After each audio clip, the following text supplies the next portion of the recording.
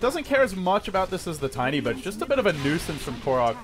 And they won't have that Stolen Panda ult for quite some time. They'll lift up the Doom, toss him back down. Bulba comes in with the silence, the coil as well. Snakey almost thrown out of coil range. They pop a Centaur ult, and Sneyking just panics, starts running around, gets dunked. The toss is there. They, the Doom, the Panda, both dead. Now the Centaur as well. All three tanks are down, and all of a sudden, they relocate onto the backside, looking for the Shadow Demon. They'll lose Fogged as well. NAR getting clobbered